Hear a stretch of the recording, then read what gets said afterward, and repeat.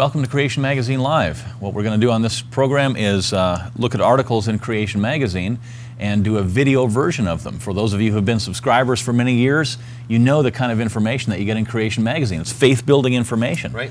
Uh, all kinds of questions are answered that Christians and non Christians have in the magazine. Mm-hmm. And uh, our scientists and speaking staff, and actually many contributors from around the world, uh, contribute to this magazine. So, what are we doing today? Well, we've got uh, this is the June issue from uh, 2008, volume 30, number three, and the particular article we're looking at is called "Excellent Eye." So it's talking about the just the design in in the human eye. Amazing design. Yes, Yeah. and this is from Dr. David Catchpoole and Dr. Jonathan Sarfati, and they uh, did this article together, I guess. So uh, let's just go through a little bit of it here. Um, starts off says when you emerge from a darkened room out in bright sunlight, your eye mechanically shrinks uh, the pupil, cutting down the amount of light entering the eye. In fact, the eye works marvelously in a wide variety of, of light intensities, uh, from hardly any light to very bright light. Um, the eye can detect a single photon of light, the faintest light possible. Despite some evolutionists claiming that the eye is badly designed, this is a common uh, uh, something Richard Dawkins brings up many times when he's critiquing creation. He says it's impossible to improve on the sensitivity. That you can't actually make it better in this, this one respect. But the eye can also work with 10 billion photons. That is, its dynamic range is 10 billion to 1. Modern photo, Yeah. uh, photographic film has a dynamic range of only about 1,000 to 1. Now, you'd know about that because you're into photography and, yeah, kind of stuff. So yeah. you're- you're- Film was, of course, a little old, but but the Yeah. sensors on the on digital cameras are, Right. are, are roughly the same, or even worse than film. So Right. Uh, also, one of us, and he's referring to uh, Dr. Sarfati, performed a doctoral research using state of the art light detectors. However, they were so delicate that they needed protection from more normal light intensities using filters that only let in a millionth of the light. Otherwise, the detector would have been destroyed. Newer models have an automatic shutoff. Yet the eye easily adjusts to a far wider range without needing such a shutoff. Um, so it's got automatic machinery. The best known ways the eye copes with varying light intensity is the iris. This is the colored ring of the eye. In bright light, muscles contract and narrow the pupil, letting less light in. In dim light, other muscles widen the pupil. But the biochemists Craig Montell and Seng J. Lee have discovered that microscopic machinery is involved, not just the large scale motion of the iris, they examined fruit fly eyes, which have similar proteins and light detector cells to ours. These cells have the light detecting proteins in one end of the cell. But another protein called arrestin is moved around in the cell in response to the light. In dim light, arrestin is in a holding area, but in bright light, it's shuttled so that it can bind and calm the light detecting protein, thus protecting it.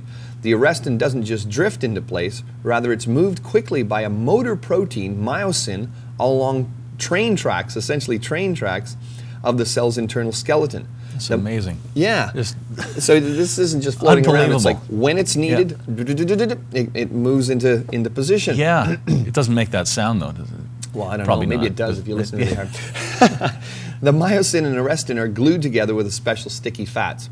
Dr. Montell explains for the cell to properly adapt to bright light, arrestin needs to move. If it doesn't, the cell remains as sensitive to light as it, it was in the dark. So, is this chance or design? Far from being a poor design, the eye's dynamic range exceeds that of uh, the best man made photodetectors. And the latest research shows that the intricate microscopic machinery behind it, a motor, glue, calmer, and internal train tracks, all these features would need to be present and coordinated, otherwise, the eye would be blinded by bright light. Thus, natural selection could not build this system up step by step, since each step by itself has no advantage over the previous step until all steps are complete. The Bible has a far more cogent explanation.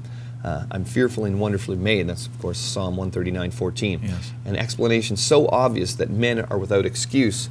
And, of course, we understand that from reading Romans 120.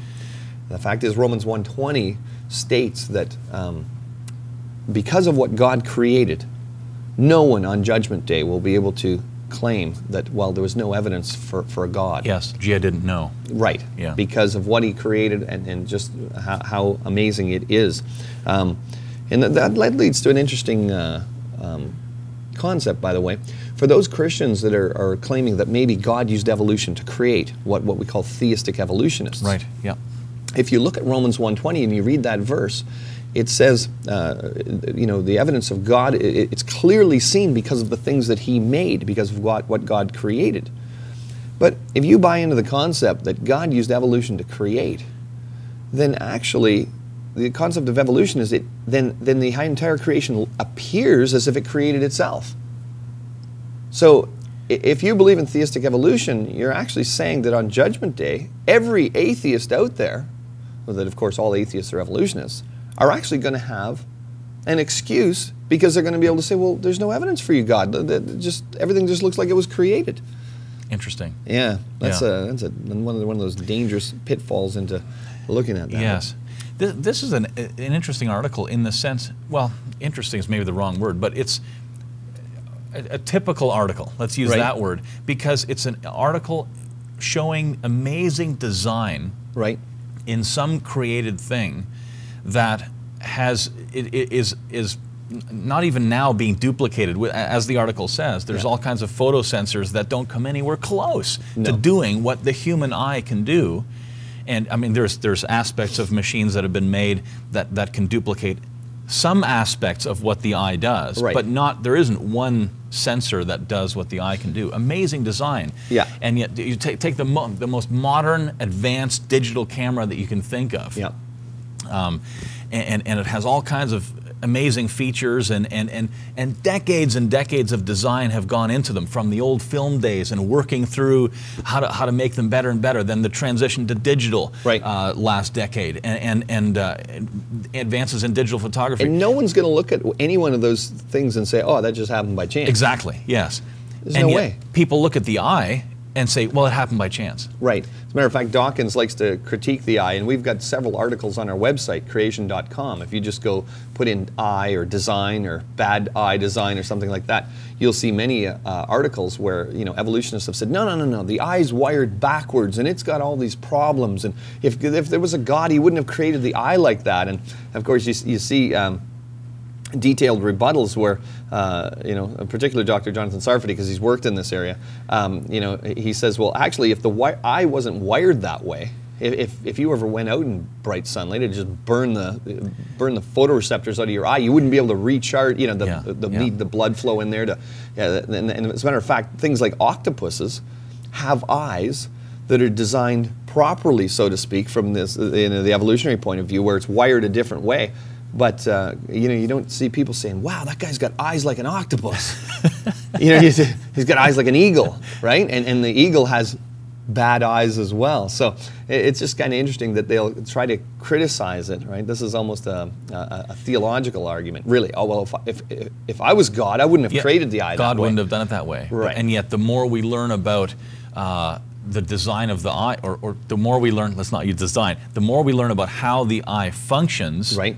The better the design seems to be. Right. And and we we've got to do we've got to do a, a, show on those other articles too. Right. And we'll link it on this on the on, on the web yeah. page here. That's one of the things about Creation Magazine, and I think one of the reasons why it's been so uh, popular with uh, with with supporters and just Christians in general is because you know you can read a, a short little article like that, you can get some some faith building information. Go wow, that, you know, because it's hard to study everything, but that's a one page article. You can read it quite quickly pass it on to one of your skeptical friends.